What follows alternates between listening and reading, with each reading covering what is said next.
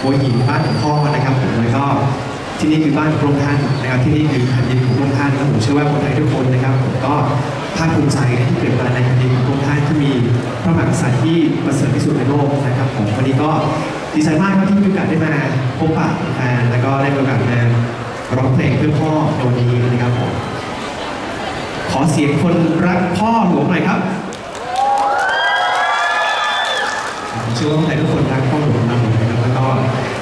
เชื่อว่าทุกคนยังคงอยู่ในอาการโศกเศร้าแล้วก็อยู่ในสิ่งที่เราเพิ่งสูญเสียกับการยิ่งใหญ่ในชีวิตของเราไปแล้วก็วันนี้มาร่วมกันนำความรู้ถึงพระท่านผมว่าจะมีข้างหลังจะเป็นเทศกาลที่เป็นภาพเกี่ยวกับพระท่านในการทำสิ่งต่างๆที่พระท่านได้ส่งงานให้กับคนไทยทุกคนหรือว่างานต่างๆที่พระท่านได้กับทำให้กับแผ่นดินไทยของเรานะครับผมวันนี้ก็มีเพลงมาฝากคนไทยทุกคนหลายเพลงนะเป็นเพลงที่ พูดเกี่ยวกับคุณพ่อของเรานะครับพ่อหลวงเราทุกคนที่เป็นคนไทยเหมือนกันนะครับ แล้วก็เพลงแรกเป็นเพลงในหลวงของแผ่นดินซึ่งเพลงที่มาจากละครเวทีสี่แผ่นดินมิวสิควลแต่ใครได้มีโอกาสไปดูบ้างครับสี่แผ่นดินเข้าใจได้ยังว่าคำว่าร้องไห้ระงมทั้งแผ่นดินเป็นยังไงนะครับก็เป็นสิ่งที่ผมเชื่อว่านะครับถ้าเกิดว่ามีโอกาสได้กลับมาแสดงครั้งหนึ่งเนี่ยนะคงที่จะ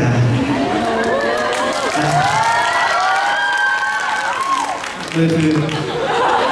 ผมจะได้เล่นหรือเปล่านะครับก็ก็มีมีสกิดสกิดมาเหมือนกันนะครับไม่รู้ว่าเมื่อไหร่นะรอรอรอติดตามไปก่อนนะครับ ก็บอกว่าเตรียมตัวเตรียมตัวเฉยๆนะครับผู้คุณก็เตรียมตัวเหมือนกันะครับเอาละเพลงต่อไปเป็นเพลงที่ผมอยากจะบอกว่า เป็นเพลงที่ความหมายดีมากๆนะครับแล้วก็เป็นเพลงที่พูดถึงการสื่อสารพูดถึงการ ร่วมกันนะครับผมเดินตามรอยเท้าพระองค์ท่านเดินตามหลักคำสอนต่างๆของพระองค์ท่าน